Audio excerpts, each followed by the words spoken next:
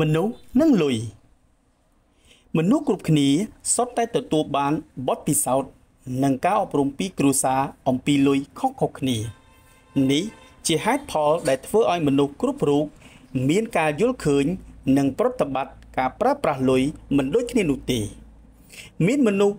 9ប្រភេទដែលតាក់ទងជាមួយនឹងលុយ1មនុស្សដៃទូលាយ មនុស្សដៃទូលាយគឺចាយលុយទៅតាមអារម្មណ៍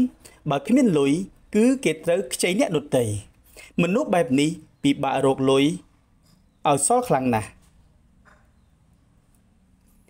2មនុស្សខ្ជះខ្ជីបែបកំណាញ់ស្វិត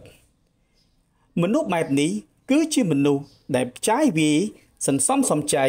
ក៏ប៉ុន្តែនៅពេលខ្លះពួកគេបែរជាយកប្រាក់ជាច្រើន ទៅទិញរបស់ដូចជាត្រូវខ្មោចសន្ធិដ្ឋអញ្ចឹង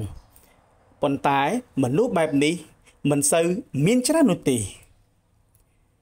3មនុស្សកំណាញ់ស្វិត មនុស្សប្រភេទនេះមិនចូលចិត្តទិញឬក៏ប្រើរបស់ទាស់តែអស់តម្លៃទើបទិញថ្មី បើជាឪពុកម្ដាយមិនព្រមទិញអ្វីដែលកូនចង់បាននោះទេ ពួកគេច្រើនតែនិយាយថា វាមិនល្អទេកុំទិញអី ខ្ជះខ្ជាយប្រាក់ពេកហើយជាដើម4មនុស្សចូលចិត្តសន្សំប្រាក់ពីទូទៅមនុស្សប្រភេទនេះត្រូវបានឪពុកម្ដាយខ្លួនបង្រៀនឲ្យចេះសន្សំសំចៃតាំងពីនៅក្មេងប៉ុន្តែពួកគេមិនចង់យកប្រាក់ទៅវិនិយោគដើម្បីផ្លាស់ប្ដូរជីវិតនោះទេ ពីព្រោះពួកគេយល់ថាវាគ្មានសុវត្ថិភាពនោះទេលុយនៅក្រៅដៃខ្លួន5មនុស្សពូកែព្រួយបារម្ភ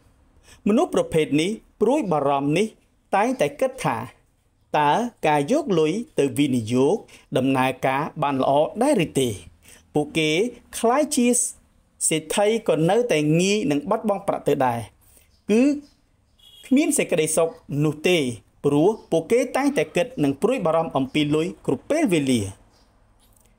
6មនុស្សមិនចាប់អារម្មណ៍នឹងប្រាក់ មនុស្សបែបនេះមិនចាប់អារម្មណ៍រឿងប្រាក់ទេពួកគេចាប់អារម្មណ៍តែការងារឬអ្វីដែលគេកំពុងធ្វើច្រើនជាងលុយ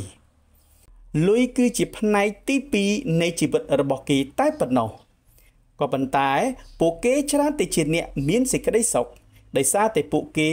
រស់ពីលើប្រាក់7មនុស្សគ្មានមហិច្ឆតា មនុស្សបែបនេះ គេជឿថាប្រាក់ ជារបស់កខ្វក់ក្រៅពីនេះ គេមិនចូលចិត្តប្រាក់នោះទេ ពួកគេមិនចូលចិត្តរស់នៅក្នុងសភាពសបាយរីករាយឬក៏ទិញរបស់របរល្អល្អនោះទេ ពួកគេច្រើនតែជាអ្នកដែល ប្រតិបត្តិប្រកាន់ភ្ជាប់ជាមួយសាសនានោះឯង8មនុស្សញៀននឹងការរកប្រាក់